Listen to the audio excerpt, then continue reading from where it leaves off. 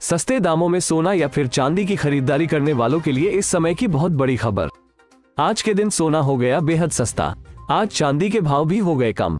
आज आया है सोना और चांदी घर लाने का अच्छा मौका। देश के सर्राफा मार्केट में आज सोने के ताजे भाव की बात करें तो सर्राफा मार्केट में आज 22 कैरेट सोने का नया भाव हुआ उनचास हज़ार नौ सौ अड़तालीस रूपए प्रति 10 ग्राम।